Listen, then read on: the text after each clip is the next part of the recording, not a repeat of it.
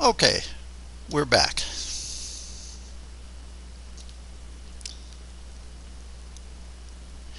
One of the amazing things, if an open source project is successful, the key project members will usually be able to find somebody to pay them to work on the project or pay them with the idea that they'll work on the project part-time or something of that type. And, you know, the likes of IBM, Intel, um, Google, uh, all of those people are paying people that spend all or part of their time doing open source work. Open source examples. Um, well, we'll skip these a little bit. But um, um, two of them in the Portland area are Personal Telco. They're a group that um, they're a group that um, puts together uh, wireless systems and uh, helps places like coffee shops um, um, or individuals in houses open up their wireless network to form sort of a spotty cloud throughout the city. It's all volunteer. Um, it's a cool, cool system. Or Calagator, which is Portland's um, event calendar.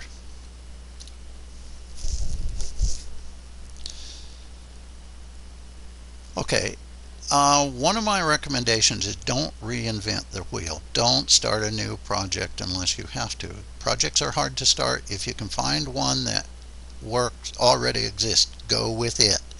Uh, it's hard to recruit people and stuff. A lot of people want to start a new project because they want to be head of a project. That's a good way to not do a project very well.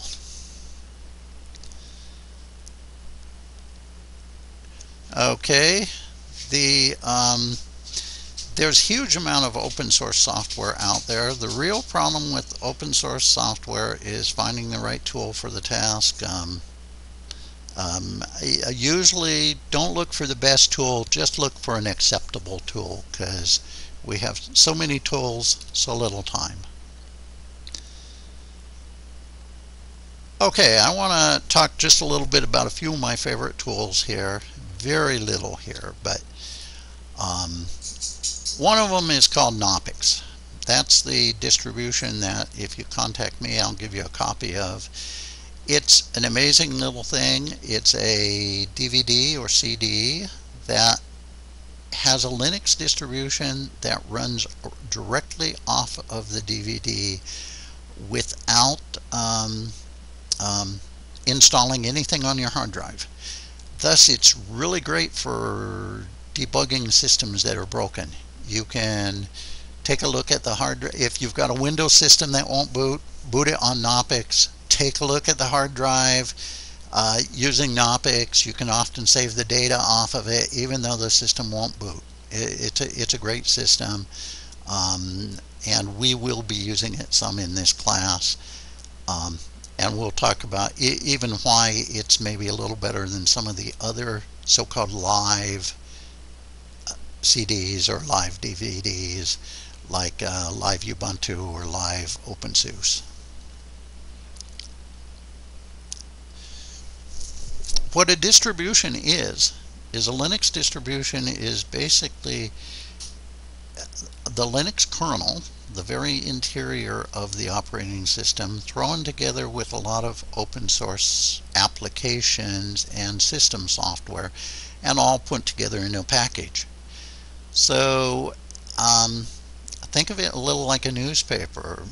People get news stories off the wire service, they get news stories from this columnist or that columnist, and somebody's going to act as an editor and put that all together in a newspaper and then they put a banner at the top that says Willamette Week or um, Chicago Tribune or Portland Oregonian um, and the editor that's a major function. Well likewise with the open source community being the editor is a major function and there are hundreds and hundreds and hundreds of Linux distributions.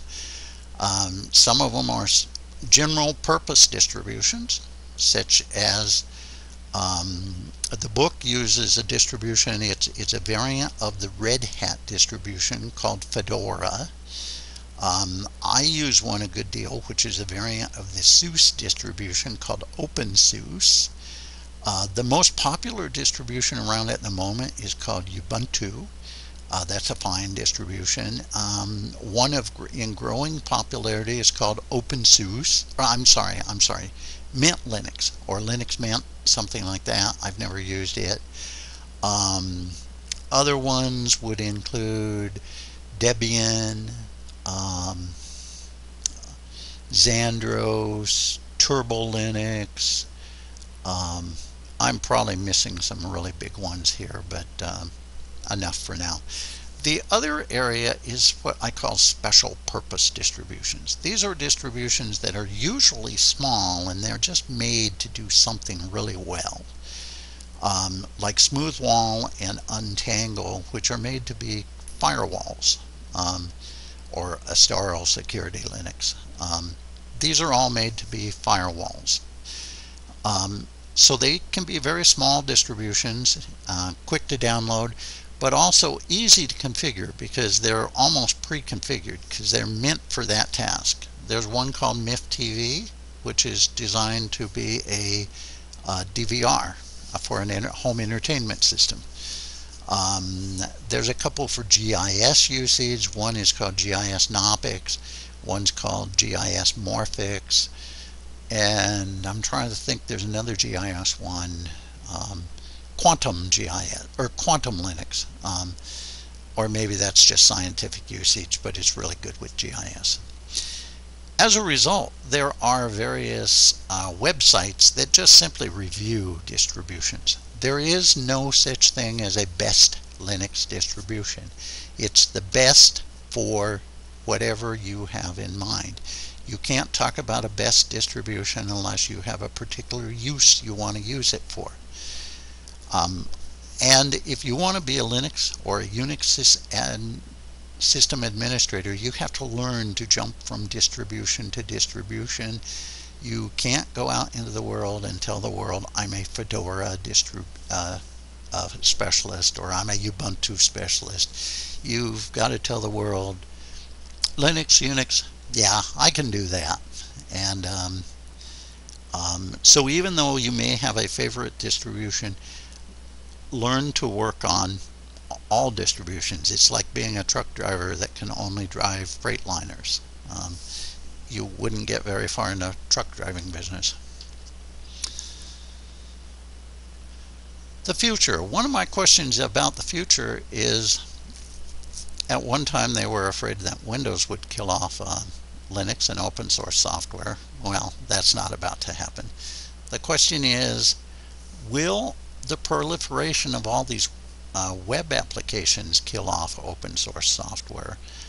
I don't think so, but it is a concern um, because um, a lot of our web applications are wonderful, but they do um, they have a tendency to capture the customer and or well actually they're not the customer because they're not usually paying the bill but they have a tendency to capture you and trap you in a system. Um, I hope that doesn't happen. Learning to be open. Okay. Um, this is what you need to learn to be open. Uh, basically you've got to work on projects. Work on projects that interest you, work on projects you need. Join a local users group um, or open source group of some sort and volunteer. Um, uh, contribute to open source projects and that's not just for programmers yes programmers can contribute but document we always need documentation specialists teachers um, advocates and evangelists testers, web designers, and other support people. Um, there's a way for everybody to contribute. Um, volunteer in a nonprofit that uses open source. That's a good way to get experience. All of these things are good things to have on your resume too. They really do help. Um, use and read source code. That's a good way to learn, to uh, get to understand things better. In, bottom line is participate. And um, um, yes, um, whoops, went. Oh. Okay the other thing is uh, some people believe in a lot in training and certifications. I, I, certainly believe in classes and stuff as being useful.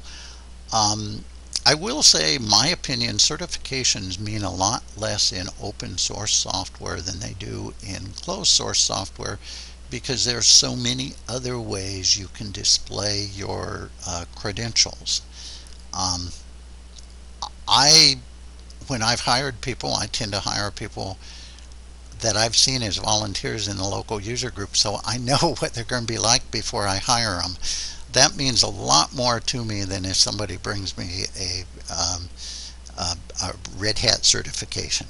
Um, so, um, yeah.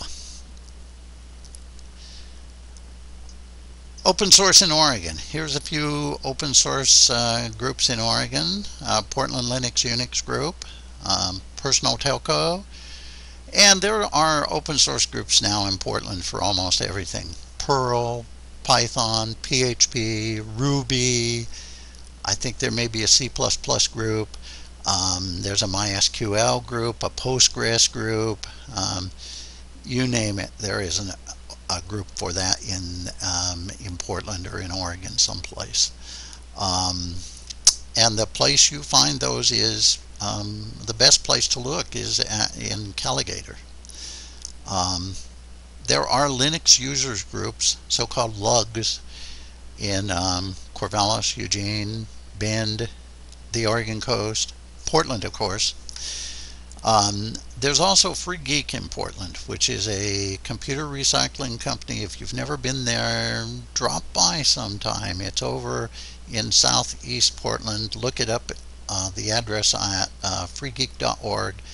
And uh, they've got a great thrift store, and um, they're and and they've got great volunteer opportunities that um, where you can really learn to put systems together and um, um, tear computers apart, put them together, uh, put Linux on them, configure things. It, it, it's it's a it's a great program.